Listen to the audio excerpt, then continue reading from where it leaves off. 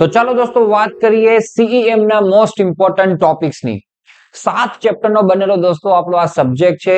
એ સાતે સાત ચેપ્ટરમાંથી અત્યાર સુધી જે જીટીયુ એક્ઝામની અંદર કન્ટેન્ટ પૂછાયું છે, એ કન્ટેન્ટમાંથી તમારી સમક્ષ આઈએમપી શેર કરું છું. તો આના ઉપર તરફ વિશેષ ફોકસ કરજો અને એના સિવાય પણ દોસ્તો હવે સેવન સેમના વિદ્યાર્થીઓ છો, તો તમને બીજા બધા પણ ટોપિકો છે એના ઓવરવ્યુ ખબર હોવી જરૂરી છે અને પોતાના ઓન વર્ડ્સની અંદર એના વિશે તમે લખી શકો. જો એક્ઝામની અંદર એ કન્ટેન્ટમાંથી ક્વેશ્ચન્સ પૂછાય, તો એવી પણ પ્રિપેરેશન આપણી હોવી જોઈએ. તો ચાલો દોસ્તો ચેપ્ટર નંબર વનથી આપણે શુભ શરૂઆત કરીએ ઇન્ટ્રોડક્શનમાં તેમાં ફેઝિસ ઓફ કન્સ્ટ્રક્શન પ્રોજેક્ટ પાંચ ફેઝ તમને આપવામાં આવેલા છે. સમજી જાઓ ઓન વર્ષની અંદર લખો. પછી ઇન્ડિયન કન્સ્ટ્રક્શન ઇન્ડસ્ટ્રી હમણાં લેટેસ્ટ પેપરની અંદર દોસ્તો, એની શોર્ટ નોટ તમને પૂછાયેલી છે. તો આમાં તો બહુ લેન્ધી આપેલી છે. તમને શોર્ટ એન્ડ સ્વીટ કરતા આવડવું જોઈએ. એના પછી કન્સ્ટ્રક્શન મેનેજમેન્ટ એના નીડ ઓબ્જેક્ટિવ ફંક્શન્સ બરાબર? મોસ્ટ ઇમ્પોર્ટન્ટમાં આવશે. રિસ્પોન્સિબિલિટીઝ દોસ્તો, એમાં એન્જિનિયર ઓનર અને કોન્ટ્રાક્ટર ત્રણ વિષયની વાત કરેલી છે. તો એક તૈયાર કરો અને કદાચ ન કરો ને દોસ્તો, તો પણ પોતાની રીતના પોતાના હિસાબે લખી નખાય. બરાબર? એવા બધા ટોપિકો છે. પછી engineer and construction economy construction economy એટલે દોસ્તો કે ભાઈ બજેટ ઓછા બજેટની અંદર સારી રીતના એન્જિનિયર છે કેવી રીતના આઉટપુટ આપી શકે? બજેટ ઓછું કેવી રીતના કરી શકે? ખર્ચ ઓછો કેવી રીતના કરી શકે? એની વાત દોસ્તો એની અંદર કરવામાં આવેલી છે. પછી છે કન્સ્ટ્રક્શન પ્રોજેક્ટ પ્લાનિંગ આ બહુ મોસ્ટ ઇમ્પોર્ટન્ટ ચેપ્ટર છે દોસ્તો. સીપીએમ અને પોર્ટ નેટવર્કના ન્યુમેરિકલ્સ પણ આની અંદર આપણને જોવા મળે છે. પણ હમણાં તમે જુઓ, તો છેલ્લા બે પેપરથી દોસ્તો ન્યુમેરિકલ પૂછાયા જ નથી.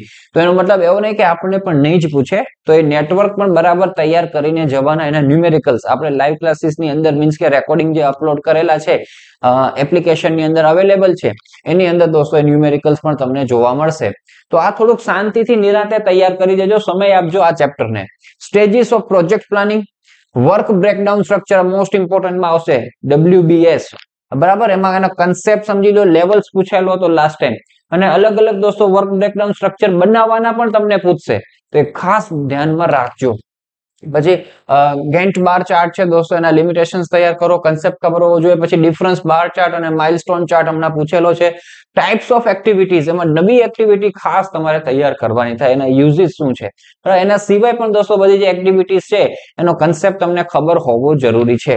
એના પછી rules for drawing a network draw network draw કરવા માટેના નિયમો, પછી નેટવર્ક ડ્રો થઈ જાય અને નંબરિંગ કરવાનું હોય તો એમાં ફુલકરસન્સના નિયમ છે દોસ્તો.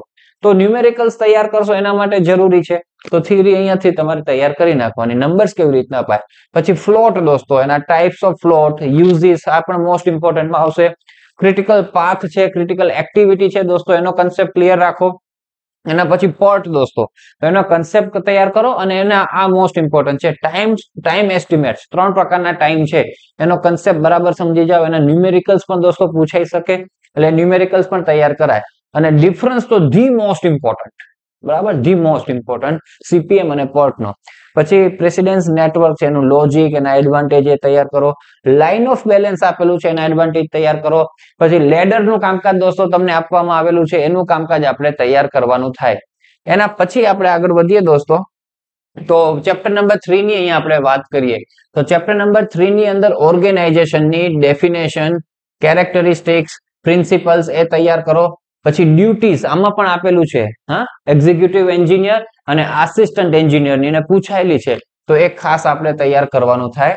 પછી જોબ લેઆઉટ તો મોસ્ટ ઇમ્પોર્ટન્ટ છે. આખે આખો ટોપિક મસ્ત તૈયાર કરીને જાઓ જોબ લેઆઉટ એમાંથી કંઈક ને કંઈક ક્વેશ્ચન્સ તમને એક્ઝામ પેપરની અંદર જોવા મળશે.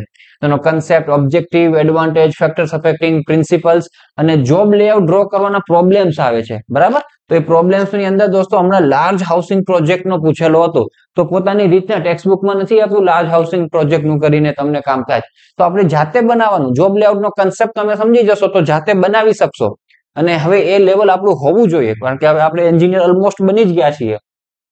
એન્જિનિયરિંગ કોલેજનું પણ પૂછેલું હતું વર્ક બ્રેક જોબ લેઆઉટનું કામકાજ, એ પછી ડેમનું એની અંદર પણ જે આપેલા છે, એ પણ રિફર કરજો, હા. મલ્ટી સ્ટોરી બિલ્ડિંગનું પણ આપેલું છે ડેમનું આપેલું છે, એ તૈયાર કરાય. એના પછી મટીરિયલ્સ મેનેજમેન્ટ છે, એના ઓબ્જેક્ટિવ ફંક્શન્સ બહુ બધી વખત પૂછેલું છે મટીરિયલ મેનેજમેન્ટનું કામકાજ પણ પછી સિલેક્ટિવ ઇન્વેન્ટરી કંટ્રોલ એમાં એબીસી એનાલિસિસ વેડ એનાલિસિસ અને એફએસએન એનાલિસિસ ત્રણ તૈયાર કરાય.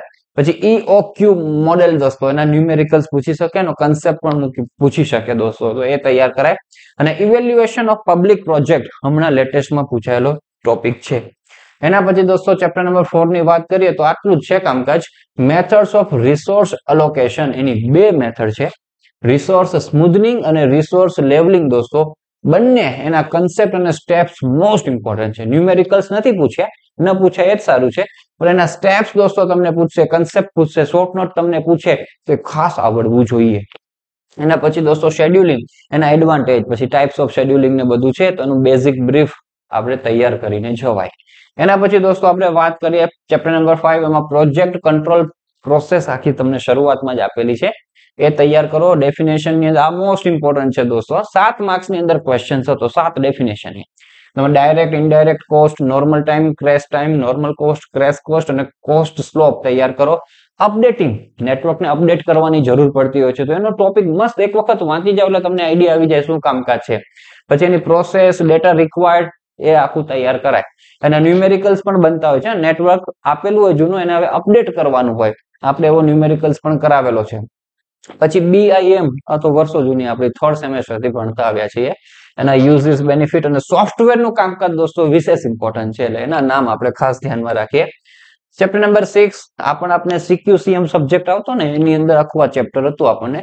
રોલ ઓફ ઇન્સ્પેક્શન છે ક્વોલિટી કંટ્રોલ એના ફેક્ટર્સ એડવાન્ટેજ ઓબ્જેક્ટિવ પછી સ્ટેટિસ્ટિકલ ક્વોલિટી કંટ્રોલ એના એડવાન્ટેજ ઓબ્જેક્ટિવ પછી ડિફરન્સ પૂછેલો હતો ક્વોલિટી કંટ્રોલ અને ક્વોલિટી અશ્યોરન્સનો તો ટેક્સ્ટ બુકમાં નથી આપેલો, પણ આપણે કન્સેપ્ટ સમજીને જાતે બનાવી દેવાનો.